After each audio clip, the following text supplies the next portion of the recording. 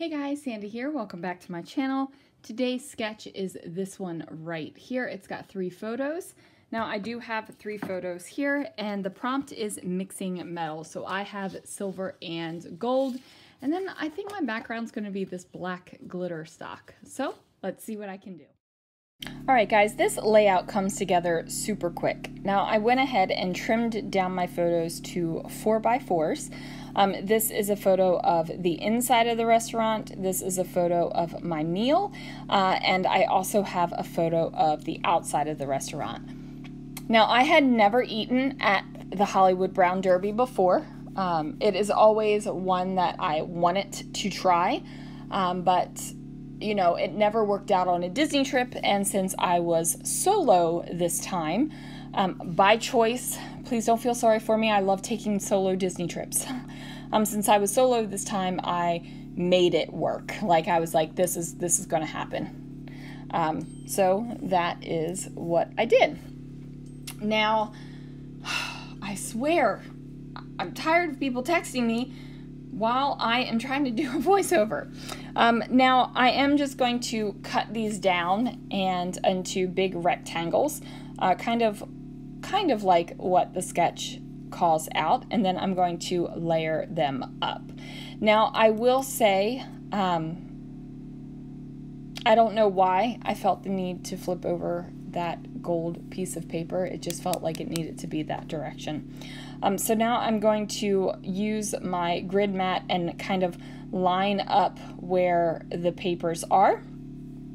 And then I'm going to put them um, where they go. I think this is real time, guys.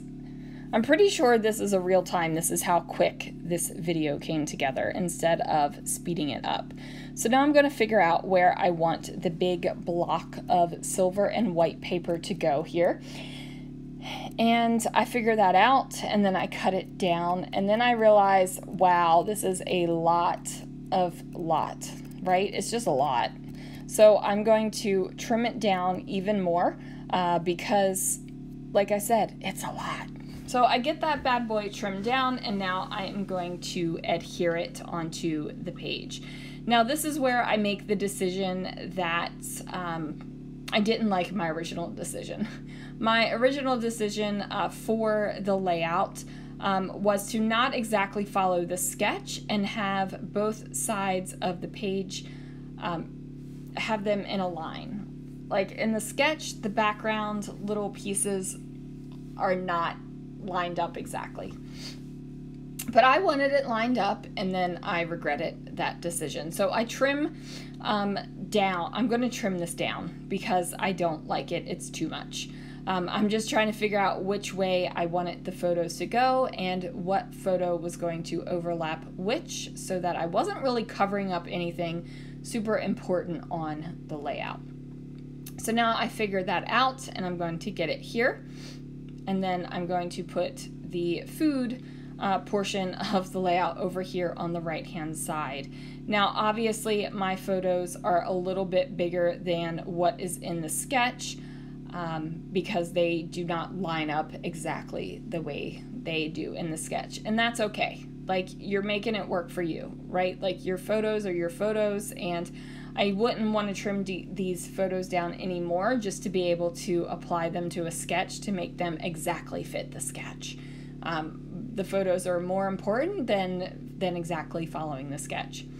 So now this is where I'm like, oh, this is too much over here. So I'm going to cut this off. Now, I should have pulled this off and cut it with a straight edge uh, because it's crooked and even when I cut it again, it's still crooked, so I have to like camouflage the fact that I was a maniac and uh, just kind of tried to scissor my paper off of the layout while while it was still adhered down. Like, and it's still crooked. I'm just like, whatever. At this point, I'm like, whatever. um, so now I have a pretty big expanse of glitter paper here showing on the right hand side and I think that this gives it more of a balance. Um, since my metals are so big, thick, and bold, um, had I left it down there underneath of the photo like that, I think we just would have been a little bit overwhelmed. At least I know I would have been a little bit overwhelmed. Um, but not so overwhelmed where I can't bring in more metallic things. So I have this silver metallic doily and I'm going to put that on the layout as well. Um, and I made sure that it didn't overlap onto the gold part, which is really weird. Um, for some reason, did not want my silver doily touching the gold. I was like, nope, nope, doesn't belong there. It's not going to happen. So now here we are, um, and as you can probably guess, we're not going to get a tag on there. Um, plus that tag in the sketch has a naked tag hole, and that's just atrocious. Um, and then I'm also not going to get a banner that spans the left from the right hand side of the page. That's not going to happen either. Um, what is going to happen is I'm going to find some black and white letter stickers. Now I toyed with the idea of using a metallic letter sticker, but I figured that that would be a little bit whoa. You know, like, whoa, hold your horses, Sandie. Why the heck are you doing that? Um, so I ended up using these black and white letter stickers, and I didn't even realize I had no more Y's left. So I had to take an X and cut a Y out of it. It works, it's fine. Um, I don't know if I do this on camera or off, but I do add liquid adhesive to the back of these uh, thickers because you know they don't stick. They just don't. I mean, it's just a fact of life now. Like, buy your thickers, buy your liquid adhesive so that you can actually adhere your thickers to the page. So I was thinking about bringing in a another word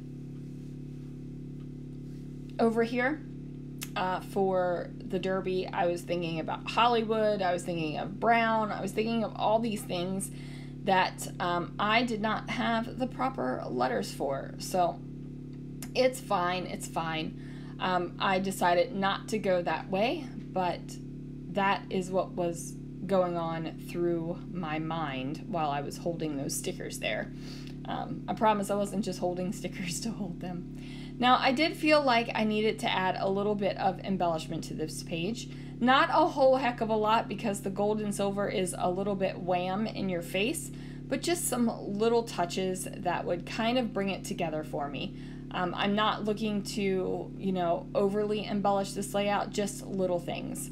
Uh, so I found these enamel hearts and they are a similar color to the photo mats that I used. So I'm just gonna put a couple of double hearts around the page um, and that's just going to also break up kind of the big thick bold colors. This is this is something a little bit smaller and a little bit daintier and it's just going to break up um, the thickness of the color.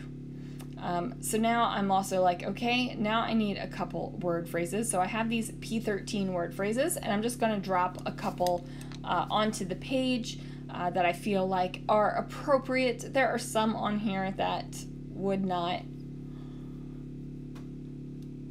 they just wouldn't make sense. You know what I mean? Uh, but the ones that do make sense, I go ahead and get them on the layout. And there really isn't a lot of place to journal on this layout, but I still have more Brown Derby pictures. So I'm thinking I could probably journal the story more on that layout, uh, just because there really isn't a clear place to journal here. That is going to do it, you guys. Thank you so much for uh, watching this video. Click on the links down below so you can Check out everyone who is playing along with Scraptember and 30 Days of Sketches, and I will see you guys again real soon for another video.